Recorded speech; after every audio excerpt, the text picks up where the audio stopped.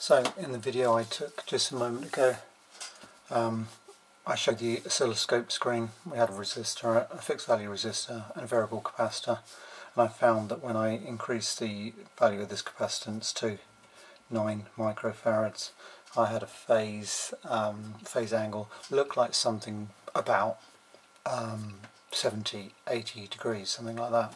So we can calculate what this phase angle should be. Now phase angle, phi, is going to be equal to this formula. So the resistor value, this resistor value, over the capacitive reactance.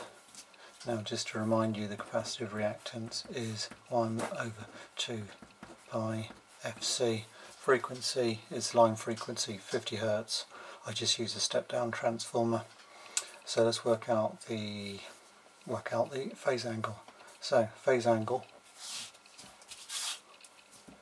phi is going to be tan. The resistance was a 1k resistor. Sorry, yeah, 1k resistor.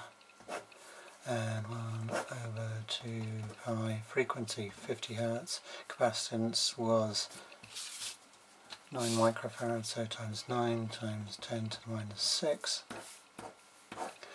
Um, if you're going to divide by that, we can simplify that. tan minus 1, 1000 times 2 pi 50 times 9 times 10 to the minus 6. Okay. Quick calculation. So 10 thousand times 2 times pi times 50 times 9 times 10 to the minus 6 equals 70. So the um, phase offset or the phase angle equals 70.5 degrees. That's the answer and that looks about right um, from what we saw on the oscilloscope screen.